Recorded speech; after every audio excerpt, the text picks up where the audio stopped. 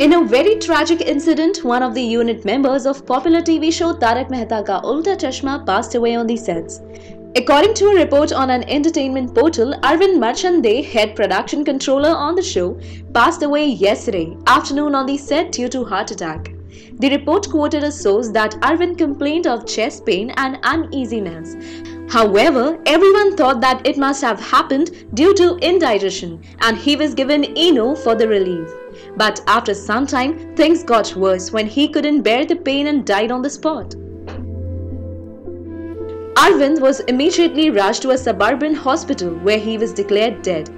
Arvind's sudden demise has shocked everyone and as a result, shooting has been called off for a day or two.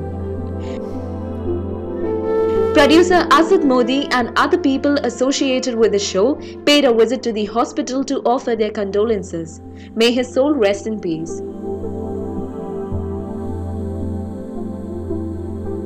What do you feel on this story? Leave your comments below. And for more television updates, subscribe our channel TV Prime Time.